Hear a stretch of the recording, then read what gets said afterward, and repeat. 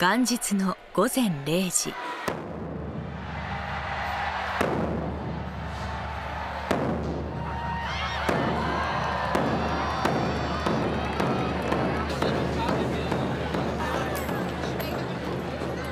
新たな年の幕開けを告げる大太鼓が境内に鳴り響くと寒川神社の御本殿では八方よけ祭並びに元旦祈祷祭が行われます。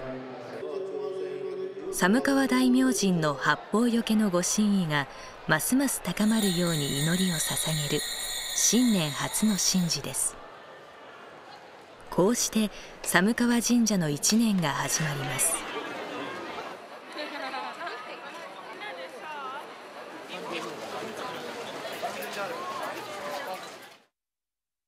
初日の出の前の午前6時には皇室国家のご安泰と氏子数形者のさらなる繁栄を記念する祭誕祭。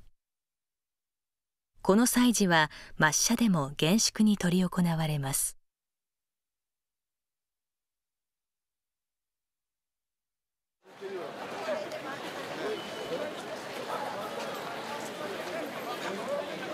来年就職なので就職、まあ、仕事がうまくいくようにっていうことをお祈りしました。国家試験を受験するのでそれを合格するようにお祈りしました。成人式の時も来ました。仲のいいみんなが健康で1年過ごせますように。家族みんなが健康でいられますように。家族の健康をお祈りしに来ました。恋愛がうまくいきますように。ずっと一緒にいられますように。とお祝いしました。来年もまた来ます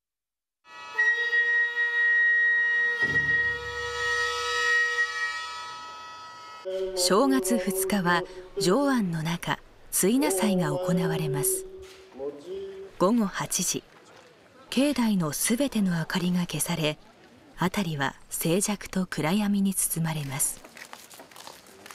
月明かりだけの空間の中鳴り響く太鼓の音。日陰かずらで編まれた兜金手に太刀を帯びた神職福士らが清崎にて境内を清め宝物数えの証言を唱えた後水内板を打ち鳴らし難波の小池と交渉しながら社殿を参集します。邪気災いを払う珍しい儀式です。ご神前にお供えした弓と矢は魔除け虫封じのお守りとして大勢の参拝者に授与されます。古を忍ばせる伝統行事です。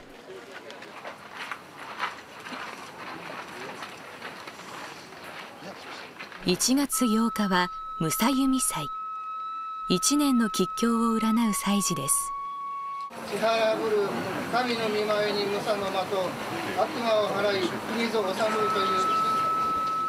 神歌を唱えながら内庭の青竹にかけられる甲を積むを描いた古式の大的をめがけ2人のネギが3本ずつ合計6本の矢を放ちます。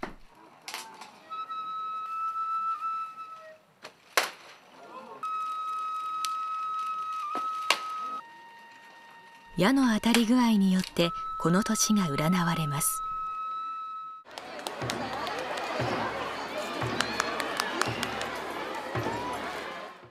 立春の前日は節分祭です。年男年女の方々によって行われる追名の儀は追名板を打ち鳴らして邪気を追い払う寒川神社ならではの特殊な神事です。その後は豆まき神事。外庭の櫓の上から福豆をまき邪気薬剤を追い払い無病息災を願います。福を呼び込もうと多くの人々が集まる早春の風物詩です。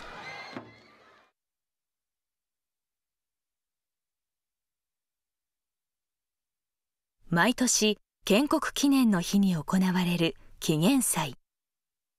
日本の建国を偲び皇室国家のいやさかと国民の安泰をお祈りする祭事です。2月11日は初代神武天皇が奈良県の橿原宮で即位した日とされ戦前までは紀元節と呼ばれていました。巫女が放送するのは世界の高級平和を神々に祈り回れる神前神楽浦安の舞。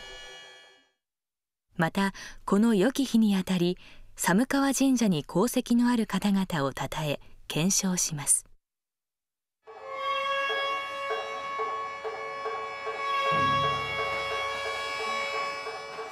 2月17日は記念祭。年越の祭りとも呼ばれるこの祭りは今年1年の豊かな農作物の実りを祈る祭典で寒川神社でも最も重要な祭事の一つ。